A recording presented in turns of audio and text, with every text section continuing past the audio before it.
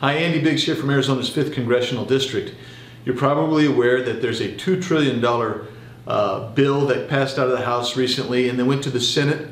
And uh, after it went through the Senate, they did some modifications to that bill and sent it back over here. Uh, the Democrats are calling it a, a COVID relief package, but of that $2 trillion, about 165 to 170 billion of it goes for COVID relief. The rest of it goes for some things that maybe you don't really, really want, like uh, bailing out um, states that have been poorly run, who have bad uh, retirement uh, funds or have increased their debt significantly. Or maybe they're Nancy Pelosi's San Francisco that wanted to be bailed out. That's in this bill. Uh, they took out Chuck Schumer's bridge to nowhere and they took out Nancy Pelosi's subway line. But this thing is chock full of bad, bad spending bills.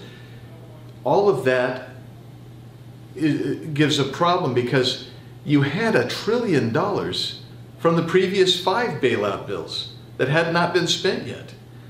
And they could have used that trillion dollars, but instead they borrowed another $2 trillion, or are planning to borrow another $2 trillion.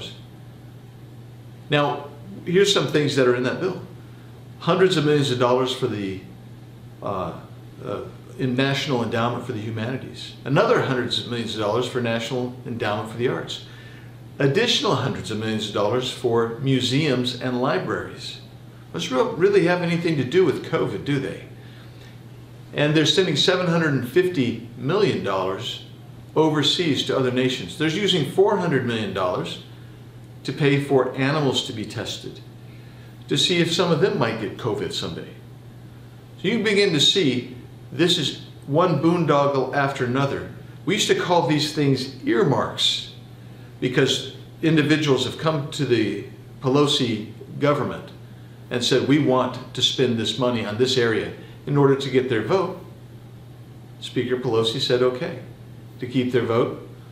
Chuck Schumer, the majority leader in the Senate, said okay.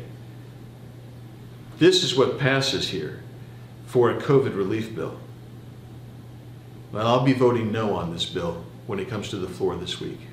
I'll keep you posted.